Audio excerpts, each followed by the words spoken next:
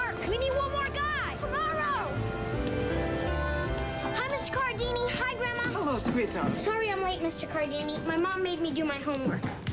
Homework always comes first, Nathaniel. Don't forget that. I won't, especially since you're not paying me. Smart the boy. He always was, even as a baby. And his brother, too. Grandma. Mrs. Caravella, that comes to $6.43. Why are you giving me money? You mother mess up on my system, I'm gonna put it on the post. But I already owe you so much. So when your check comes in, then you pay. Thank you, Joe. Thank you. Here we go. That's, um... eh, eh, 550? Mm-hmm. Mark it on the pole, Nathaniel. Under H. I know. Burger is under H because Grandpa makes hats. Yeah. And silver is under B for Bella because my mom is beautiful. Yeah. And DeVito, the plumber, is under L. Since when is plumber starting with L? The L is for lousy. He's a good customer. He's a lousy plumber. That looks heavy.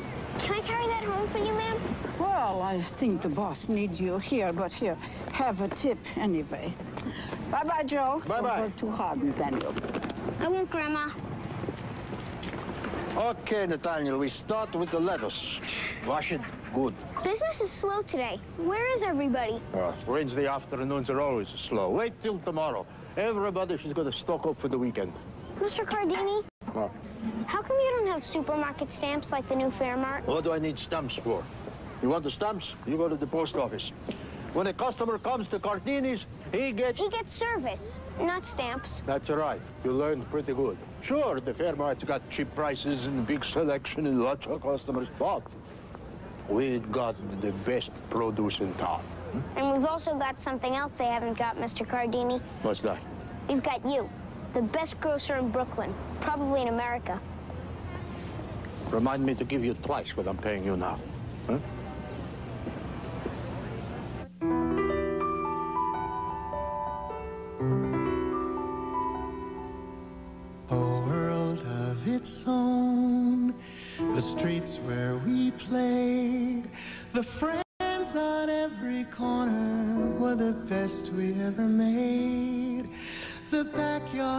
And the schoolyards and the trees that watched us grow.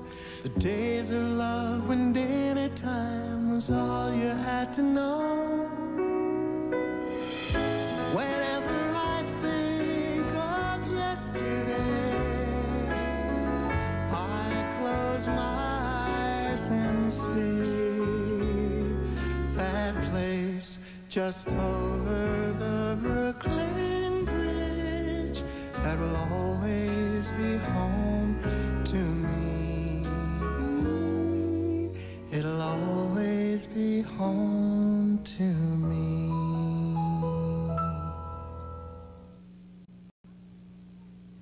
How can I keep them all straight? All these stupid names sound exactly alike. Potsdam, Yalta, Dumbarton Oaks. They don't sound alike at all.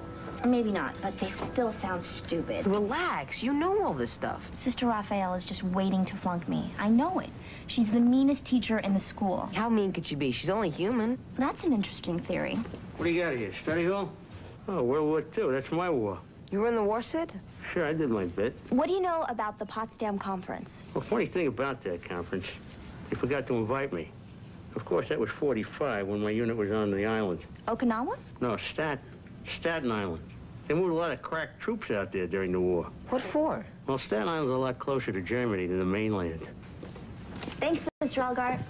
Uh-oh, we better hurry if we're gonna get a good seat. I don't think I should go to the movies, Alan. I should be studying the war. Bridge on the River Kwai is all about the war. Plus, it has Alec Guinness and William Holden, which the regular war didn't have. I can't go. It's too risky. No, it's not. Remember that chemistry test you were so worried about? And then you got a 94 on it? 96.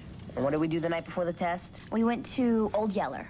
And your algebra midterm? Pal Joey. I loved that movie. Right. And I got a 97 on that test. You see? Your academic success is directly tied to our motion picture enjoyment. You really think so? Well, no, but I really want to see this movie. It's over 3,600 stamps, George. Four and three quarters books. How many books do we need to get the Black & Decker quarter-inch drill? What would you do with a quarter inch drill? I drill things. I can be pretty handy when I need to be. Last time you tried to hang a picture, the wall almost came down.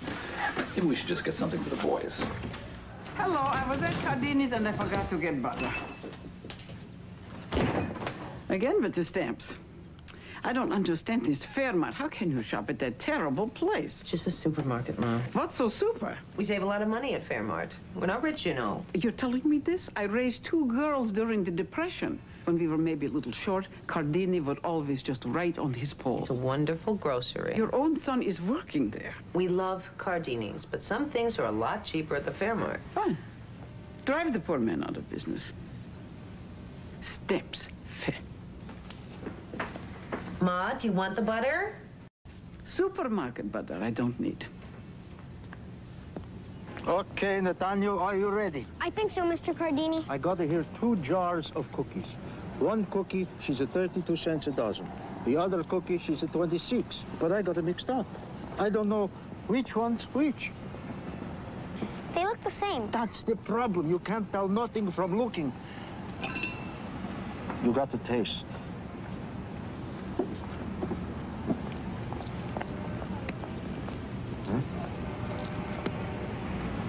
This one's the 32 cent cookie. You're sure? Maybe I better check again. Yep. This one's the 32 center. You're the best cookie taster in town. They don't get a cookie taster like that at the fair Fairmart. You want me to taste anything else? Are you kidding? Pickles, candies, fruit? Oh, you're gonna have a busy week, Nathaniel. Now that's what I call a good movie. I liked it, except every time they put Alec Guinness in that box in the scorching sun, all I could think of was Sister Raphael and what she's gonna do to me when I fail her test. Katie, you're not gonna fail. You know more about World War II than Eisenhower. You don't understand. This is Sister Raphael. My mind goes blank when I look at her. God, I wish I didn't have to take this test. I need a miracle. Maybe I should pray to St. Jude. Huh? St. Jude, he's the patron saint of lost causes. If you have an absolutely hopeless situation, you pray to him. And that works? Sure. And if it doesn't, you add Mother Cabrini. That's sort of the one-two punch? Right. And then you seal it by lighting some candles. Wouldn't it be easier to just study? Not with Sister Raphael. With her, I need a miracle. Grandpa, do you know how to tell a good cantaloupe? Me? I throw it in the air. If I catch it, I buy it. If I miss, I get another one. Do you know how to tell a good cantaloupe, right, Grandma? I knock on it. If I hear a hollow sound, I buy. What about checking the skin? Its color and texture, the shape, oval or round, the firmness, and the appearance of the root stem. Well, that goes without saying. Ah, hey, Nady. So the nerve! You coming in here with bags from Fairmart now. First of all, it is still legal to shop at Fairmart. Second of all, we didn't go to Fairmart. We went out and got a little something for Nady. For me? Yeah. You've been working so hard, we thought you deserved a present. What about me? I don't work hard, I don't get nothing. Next time, Dad. What is it? An erector set! Wow! Pretty neat, huh? It's great. Isn't it? And we still have one and a half books left. You bought this with trading stamps? Yeah, three and a quarter books. I don't want it.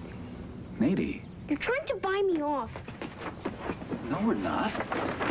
We're, we're... What are we doing, Phil? Look, Nady. For some things, we still shop at Mr. Cardini's. But for other things, it just makes more sense to go to Fairmart. Why? Well, we save money, for one thing. But what about Mr. Cardini? What if everybody tried to save money? What would he do? Well, I'm going back to work. Going shopping. I'm taking a nap.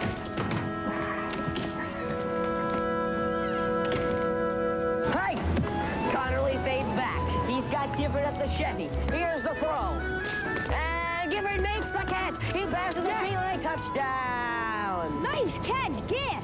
Alan, can you do my geography homework for me tonight? No, I'm going to the movies with Katie. Ooh. The movies again? Yeah, witness for the prosecution with Marlene Dietrich and Tyrone Power. But it's a school night. Well, I did my homework already, and Katie finished with her test, so we're going to the movies. I want your life, Alan. Movies on school nights, A's in school, a beautiful girlfriend. You're gonna marry Katie Monahan, aren't you? Dan, I'm 15 years old.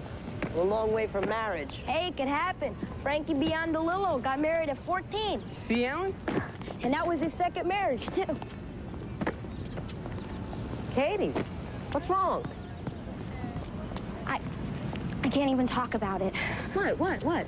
Uh, um, it's, it's just one test. You can take a makeup. Alan, you're not gonna believe what happened. What happened? We killed her. We what? We killed Sister Raphael. She's dead. Dead? That's right, dead. I prayed for a miracle and she died. We killed Sister Raphael. We? Well, if it wasn't for you, I wouldn't have had to pray that hard. What? At the beginning, I was just praying for some minor intervention.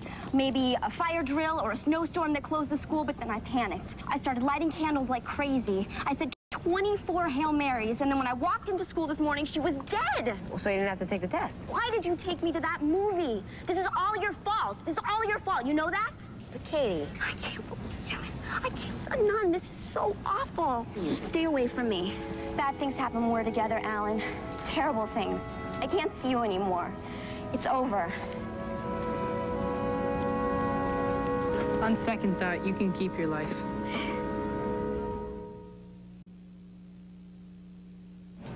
Next, Mr. Cardini? Um, Mrs. Garke, 4C. Last delivery of the day. Yep, last one.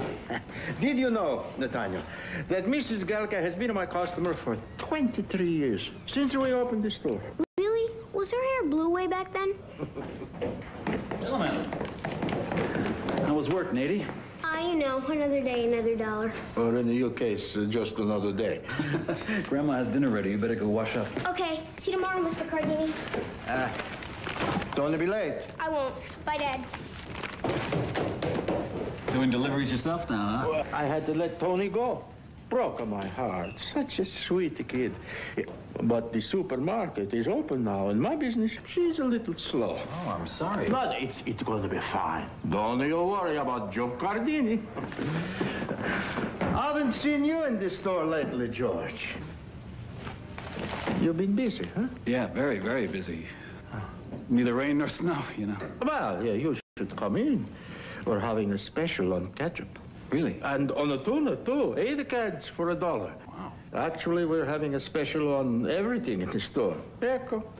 I needed the customers. Could you put some of that ketchup aside for me, Joe? That sounds delicious. And some tuna, too. A lot of tuna. Uh, how much is a lot? I don't know, five cans? That's not a lot. A hundred? That's a lot. Let's settle uh, somewhere in the middle. Say uh, ten. Okay? I'll come by in the morning. Yeah, uh, George. Uh, I don't got no trading stamps. Who needs trading stamps? Why would a nice kid like Katie Monahan kill a nun? She didn't kill the nun, Sid. She prayed for this sister to perish. Am I right? No, she prayed for a miracle on her test, that's all. And the sister giving the test then croaked. Thus the expression, the Lord works in mysterious ways. And Katie really believes she killed the nun. That's the crazy part. Catholicism is a puzzling religion, Silver. It's a labyrinth of dogma that the average Jewish teenager can barely comprehend. No kidding. You think she'll get over it? I doubt it. That's comforting. There was a Catholic guy in my platoon during the war. When they moved us to the front. Front? Wait a minute, I thought you were on Staten Island for the war. The front of Staten Island. It's a dangerous place. It's where all the weather hits first. Anyway, this guy had it out for me because of a little wager we made on the punctuality of the Staten Island ferry. I won his paycheck, his boots, his K rations, his Purple Heart, and various pictures of his family before he realized that I had a schedule. To this day, there's still a certain bitterness in his Christmas cards. Hi, Katie. It isn't speaking to you, Alan. What? Hey, Hello. May I take your order, please? Alan. Oh, we're having a special today. Egg creams are free. Will you please excuse us? Sure. No, actually, I won't excuse you, Katie. I have to talk to you. Okay. But just for a minute. Mary Beth. Look, Katie, I know you're upset about Sister Raphael, and I am too, believe me. She was a wonderful woman. A saint. A saint? Katie, you couldn't stand her. She was an angel. You said she was the meanest, strictest teacher in school. So she was a mean, strict angel. I should have studied for her test. I should never have let you talk me into going to the movies. It was a good movie. I loved the movie. That's beside the point. I have too much fun with you, Alan. Ever since I've met you, I've had nothing but fun. That's why we have to break up. You realize this makes no sense at all. People are suffering all over the world, and here we are having sodas and going to the movies. And then one day we go a little too far, we run off to see Bridge on the River Kwai when we should be studying, and an innocent nun pays the price. I'm not following this at all. I think Sister Raphael's death was a signal from heaven. A sign, Alan. It was? Yes. A sign that says, change your life, Katie Monahan, before it's too late. That's why I've decided to become a nun. What? I took Sister Raphael's life, and now I'm going to replace her. Katie. Goodbye, Alan.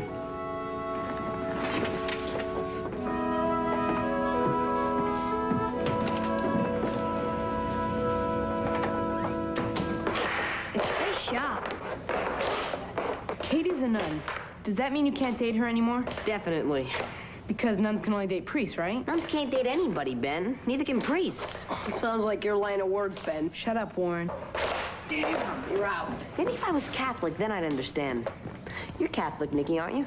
Born and bred. What do you know about nuns and miracles? I know it's a miracle when the nuns don't hit me. You really think this praying and candlelighting works?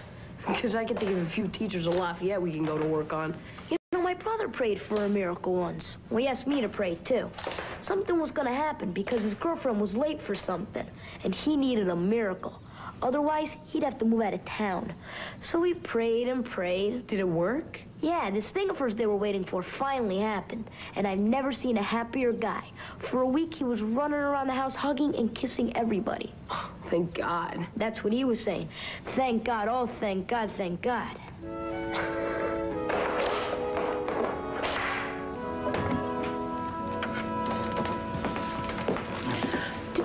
Fairmart this morning? No. Oh, actually, I just grabbed a couple of things at Cardini's. George, we don't do all our shopping at Cardini's anymore. This wasn't shopping. Six bottles of ketchup? They were on sale.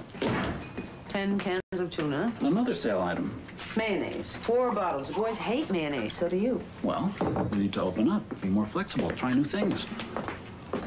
Katie's little prayer had nothing to do with anything. Believe me, God has other fish to fry. That's what I tried to tell her. Just because she lit 12 candles. Twelve candles.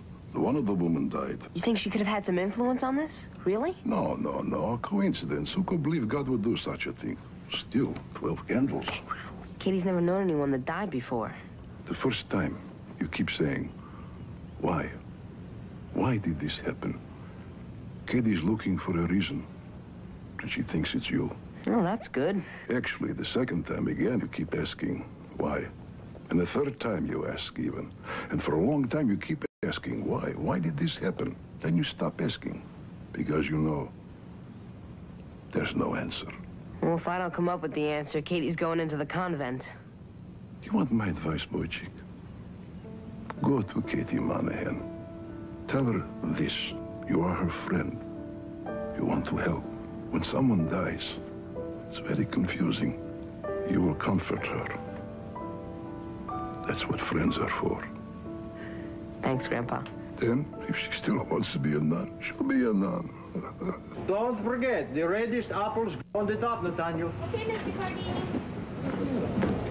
He's a good worker, A no? natural. Someday he's going to be the best grocery man there ever was. That's after medical school. If he was a little older, he could take over the store right now. How old is he? Ten. If he was 11, I'd give him the keys. Me, I'm, uh, I'm too old for this. Oh, stop, Joe. You're a teenager. 23 years in this store, Sophie. And for what? So everybody, she can go down to the Fairmart. What, everybody? I'm here. Uh, the neighborhood, she's just changing. Not if I can help it. Everybody wants everything right now. Fast. Cheap. There's no room for a guy like me anymore. That's not true, Joe. Deep down, people know better. Maybe business is a little slow for a while. It's been slow before, too, no? But people will come back, Joe. They'll come back for the same reason that Nathaniel comes to work for no pay. And why is that? You.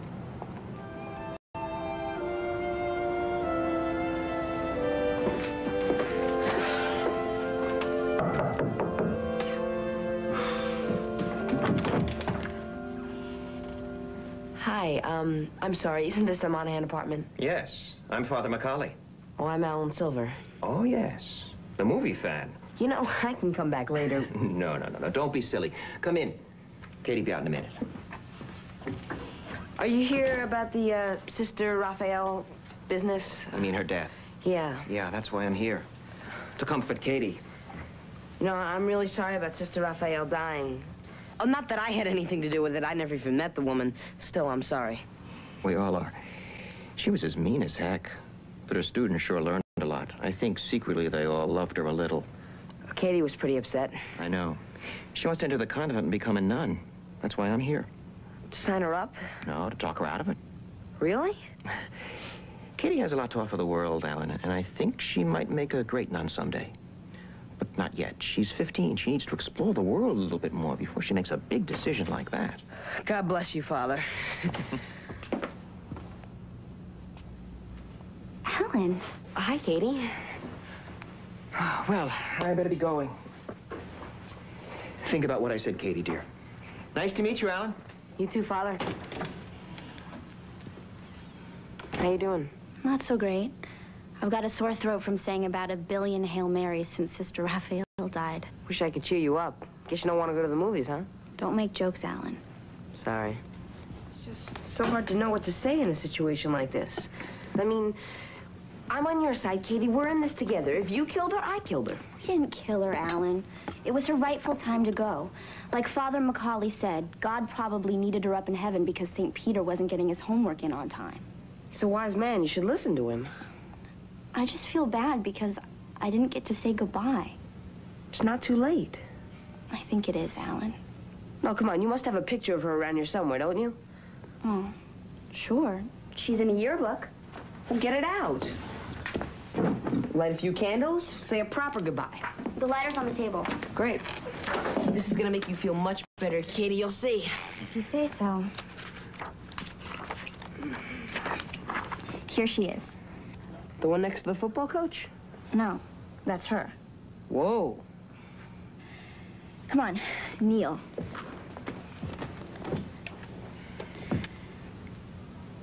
Sister Raphael, this is Kathleen Monahan. Do you think she can hear us, Alan? Come in, Sister Raphael. Alan. Sorry. If you can hear us, I just want you to know that everybody at St. Matthew's misses you already. And sister, even though you were strict, really, really strict, unbelievably strict, we understand now that it was for our own good, and I just want to thank you for everything. I hope you can hear us.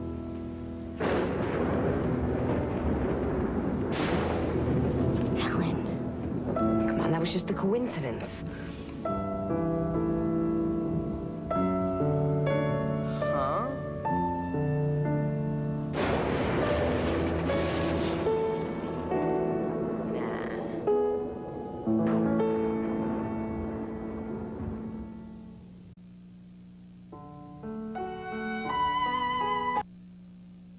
It's the Battle of the Bulldogs tonight at Fresno State. The Fresno State Bulldogs taking on the Louisiana Tech Bulldogs. We'll have the game highlights and the results tonight coming up on Eyewitness News at 11.